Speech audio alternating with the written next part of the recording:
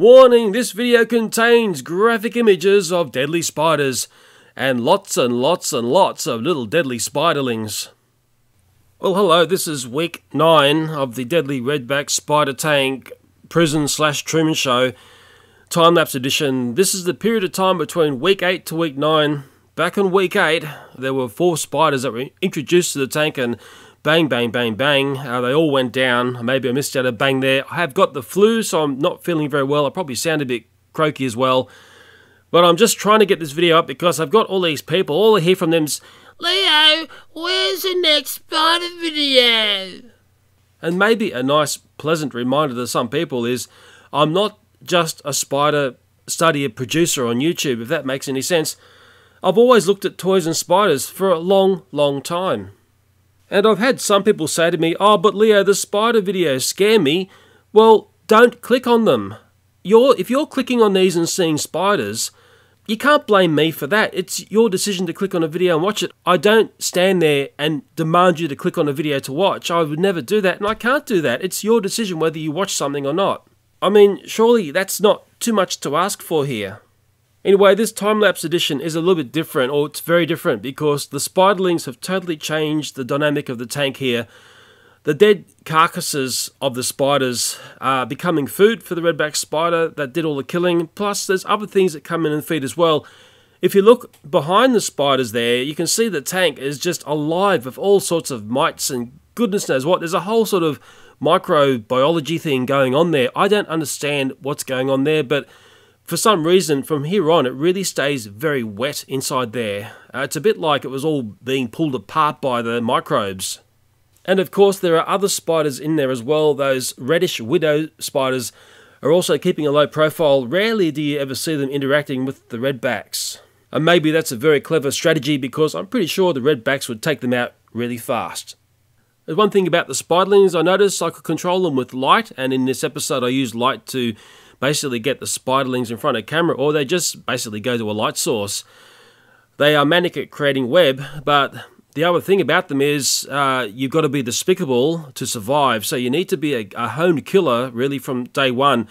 If you're not wired to kill, uh, you're going to be killed. Nature's very cruel like that. And one by one, in the spider tank, in, in essence, the spiderlings uh, start to basically feed on themselves. They are their own worst enemy. But what was really nice to see, and it did surprise me in a way, was I saw a spiderling feeding on the cluster of dead spiders, and I could see it had that expanding backside, like you see with the adult redback spiders.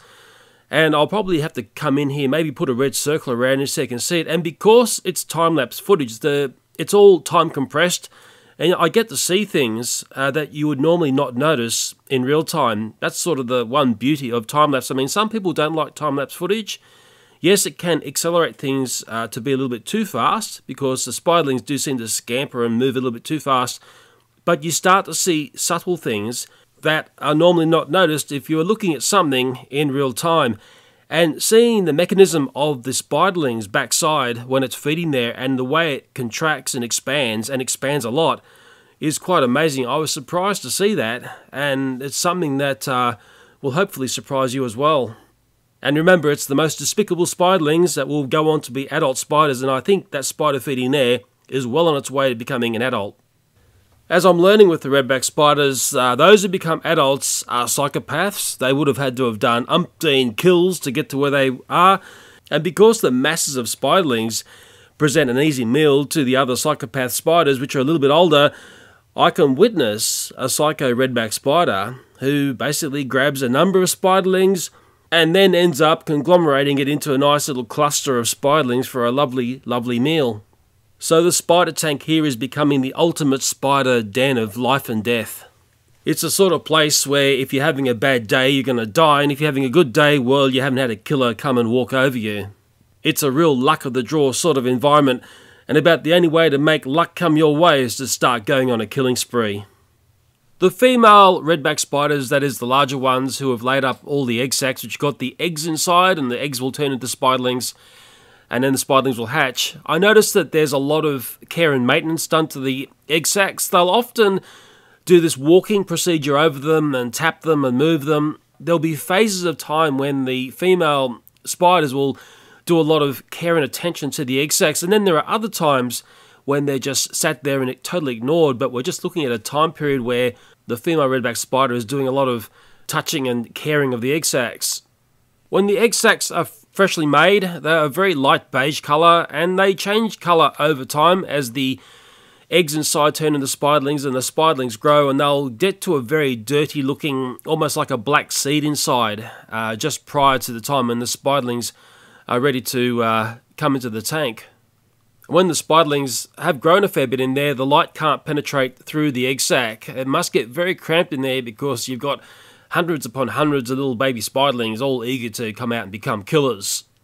This next piece of video that I've captured is very interesting. It's something I never expected to see. It sort of happens over the right hand side, top right hand side of the video here. You'll see what looks like one large female redback spider basically passing an egg sac across to our main large female redback spider that's been featuring in this part of the video. Now, this flies against the argument that these spiders are not sociable, they don't get on with each other. I'm pretty sure I just saw an effort to cooperate and basically share an egg sac. And remember, this is time lapse footage, so we're seeing something that would have taken a fair bit of time compressed into a fairly short time. The female redback spiders will move the egg sacs by using their back legs in a very clever way and they seem to be very picky in where the egg sacs get put, and they will line them up in a certain sequence. I dare say it's all secret spider stuff and what they're doing here. So, witnessing the egg sac being passed by one large female redback spider to another is very curious. Does that mean that the spider who has received the egg sac becomes like a surrogate mother? And the egg sac ends up being lined up with the other egg sacs which are there, which I can only assume are her egg sacs. I could formulate a very strong argument saying these spiders do not live in a community, but then again, I could actually formulate a strong argument saying I have witnessed these spiders act in a communal effort. And I think this is a classic example of two females acting as a community here. But who knows, one of these psycho mums may snap and end up killing the other redback spider in an instant. That's the way these girls operate. There's something I've noticed, it's been a couple of times now, and I'm pretty sure this is what's going on, is the Female redback spider will leave something that has been basically half eaten up around the egg sac. So when the spiderlings come out of the egg sac, there is something there to have a nibble on. There's a moth there around the egg sacs there. So often I've seen the spider will eat something, uh, suck it to nothing, and then it will just drop it. And other things in the tank will come and feed off it, be crickets or whatever else is in the tank, the, the bottom feeders in a sense. But I'm pretty sure when I see the spider weave a piece of food in next to the egg sacs, I think that's the first meal for the spiderlings when they come out of the egg sac. Now, I think the most vicious redbacks in the tank here, in relation to the spiderlings, is what I call the adolescent females. There is one smaller female here, there may be a number of them, I can't tell if I'm looking at the same spider, that just goes on this manic killing spree of spiderlings and just doesn't stop. And I'll put red circles around the areas where you want to watch because we're looking at little tiny things. But this girl, in the way she's wired, I am absolutely certain that she'll go on to be a fully grown female because it's the spiders that are like this, the manic killers who can't stop, are the ones that'll be dominant here, and they're the ones which will survive. And another observation I'll make, and it will start a fight of the sexes here, I've never seen the male redback spider turn into a psycho spider. It's always the girls. And by witnessing that psychopathic teenage redback spider in a way it's going on a killing spree and it can't control itself, imagine if that redback spider was out in the business world or politics. You know what? It would go straight to the top, it would be a world leader. And sadly, that's the way the world works. The psychopaths control the planet. Well, that was the peek into the tank, the time-lapse version, week 9. At the end of the video here, let's give a thought to our old friend Gonzo. A very, very famous critter that entered the tank here many weeks ago, and we will always remember him in our hearts, won't we? Gonzo was definitely the greatest.